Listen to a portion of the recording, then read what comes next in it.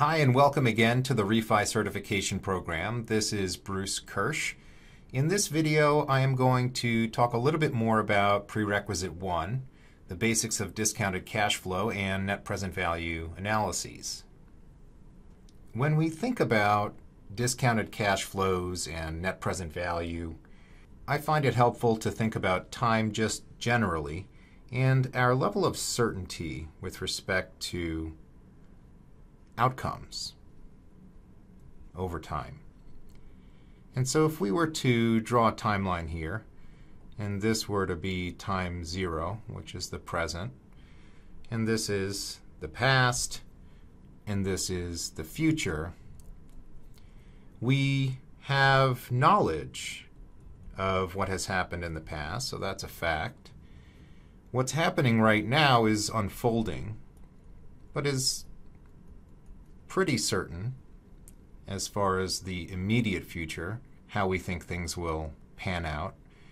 And the further we go out into the future, the less and less certain we are with respect to how outcomes might present themselves.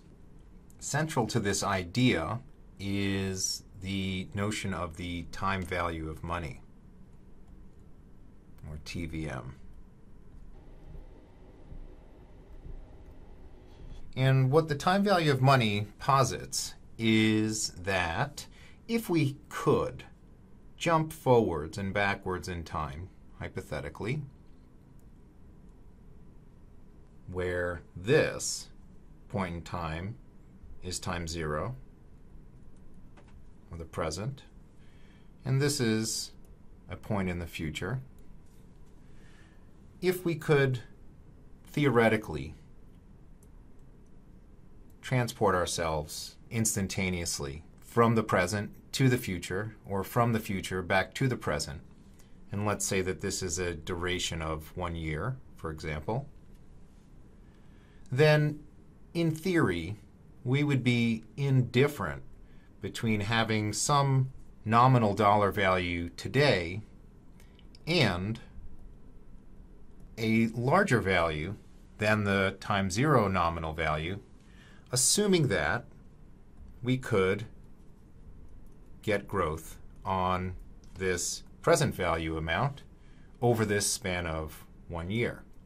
And so, assuming you don't need this $100 in the interim 365 days, once again, we would theoretically be indifferent between having the $100 in hand today or having $105 in hand, assuming that this 5% rate can in fact be achieved.